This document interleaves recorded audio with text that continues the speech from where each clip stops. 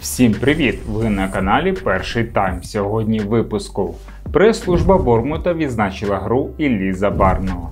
Єрмоленко оцінив свої шанси потрапити на Євро 24. Динамо повернулися у топ-3 УПЛ. Серна схвалив вчинок кафу, який продався Росії. Сідайте зручніше, ну а ми починаємо.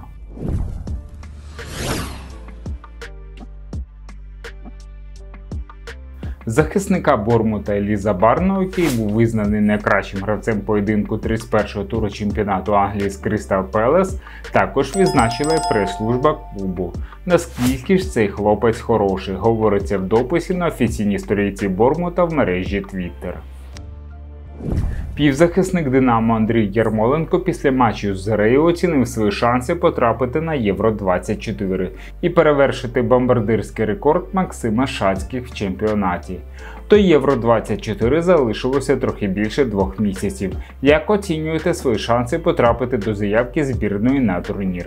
Якщо в клубі буду показувати той рівні футболу, який буде подобатися головному тренеру збірної, це станеться. Якщо буду грати погано, то не поїду на чемпіонат Європи. Усе цілком зрозуміло. Усе залежить від мене. Якщо не беру форму, то дорога до збірної буде відкрита. Для того, аби перевершити рекорд Максима Шацьких, вам залишилося забити 20 м'ячів. Це важливо для вас? Для мене важливо, щоб Динамо стала чемпіоном. Особисті рекорди то другорядне. Я ніколи за цими рекордами не гнався. Динамо набрало хорошу форму, безпрограшна серія з 10 матчів, які шанси поборотися за чемпіонство. Для Динамо є лише перше місце, і ми граємо лише для того, щоб стати чемпіонами, сказав Єрмоленко. Динамо перед міжнародною паузою зустрічалося з Рею в рамках матчу другого кола. Кияни перемогли з рахунком 2-0. Однак там було декілька важливих нюансів. Поле не могли вичистити від снігу, а луганці вийшли напіврезервним складом і доволі непогано відборонялося. Здавалося, що в основному лайн-апі вони можуть і за очки зачепитися, адже у Гранда є тактичні проблеми в роботі на м'ячі. Олександр Шовковський провів всього одну заміну після розгрому Ворскли, освіживши позицію лівого фулбека. Замість Дубінчака зіграв Вівчаренко. Цікаво, що він продовжує експериментувати з Бражком у ролі правого інсайда та Андрієвським на місці опорника. За відсутності Буяльського особливих варіантів не було, але у поєдинку з Ворсклою такий трикутник працював слабенько. Відсутність Віталія сильно позначається на просуванні м'яча. У фазі розвитку атаки команди почасто розташувалися невигідно, хоча у порівнянні з матчем проти Ворскли відчувався прогрес. Особливо виділялись дії Шапаренка та активність Ваната. Вже на сьомій хвилині ця парочка організувала гол для Андрієвського. Зрештою, фінальний свисток зафіксував розробник перемогу Динамо 3-0. Кияни набрали 44 очки й обійшли СК Дніпро 1 у турнірній таблиці УПЛ, піднявшись на третю позицію. До першої другої білосинім бракує всього двох залікових балів. З гастролями на Росію приїхав Кафу, легендарний екс-футболіст Мілана, Роми та збірної Бразилії. У чемпіона світу величезні борги, тож він не придумав нічого кращого, ніж взяти криваві гроші від представників країни-окупантки. Бразилець на аудиторію понад 3 мільйони своїх підписників розповідає, як його привітно зустріли на Росії. Під відповідним дописом Кафу в інстаграм лайк поставив спортивний директор Шахтаря Даріо Серна. Це дуже дисонує з позицією донецького клубу, який всіляко відстоює ідею, що повертати російський футбол до цивілізованого світу не можна, принаймні поки окупанти продовжують бомбардувати Україну та вбивати її громадян. На запит футбол 24 в клубі відповіли, що Даріо вже прибрав свій лайк під публікацію, контекст якої не зрозумів. Він не побачив, про що йдеться в дописі Кафу, і дуже розчарований вчинком бразильця, який взяв участь у шоу на російському ТБ. Іспанське видання AS порахувало, що Артему Добуку треба зробити для перевершення історичних цифр Андрія Шевченка.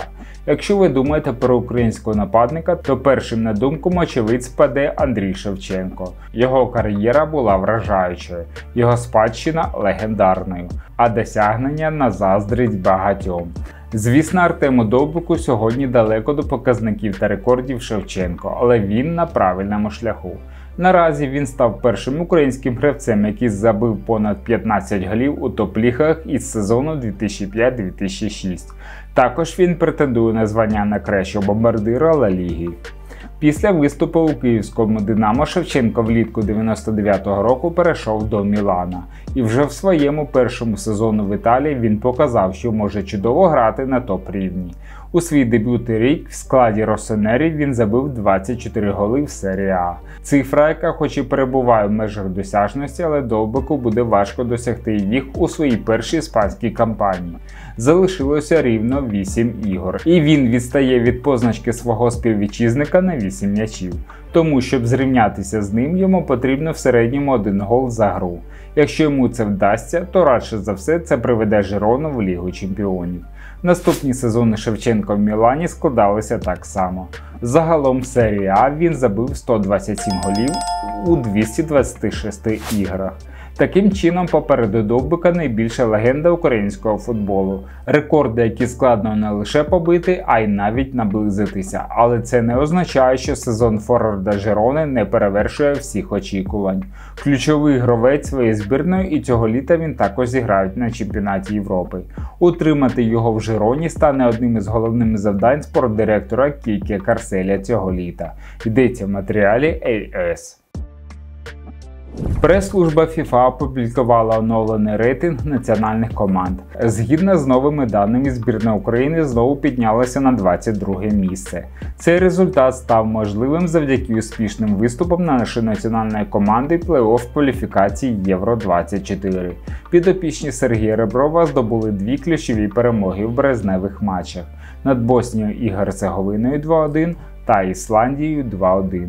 У підсумку в активі збірної України 1568,86 балів, що дозволило обійти команди Південної Кореї та Австралії. Наші суперники в груповому раунді Євро 24 посідають такі місця в рейтингу: Бельгія 3 місце, Румунія 46 і Словаччина 48. Англійські ЗМІ оцінили гру Олександра Зінченка в матчі чемпіонату Англії Арсенал Лутон. Український футболіст вийшов у стартовому складі своєї команди і допоміг їй здобути перемогу з рахунком 2-0. Типова гра Зінченка після його повернення в стрій. Здебільшого він упевнено володів м'ячем і брав на себе ініціативу під час гри арсеналу ззаду. Щоправда, кілька разів ризиковано віддав м'яч. Оцінка за гру українця 6 балів. Йдеться в матеріалі Футбол Лондон. Додамо, що у поточному сезоні Зінченко взяв участь у 300 матчах арсеналу у всіх турнірах. В його активі один гол і дві результативні передачі.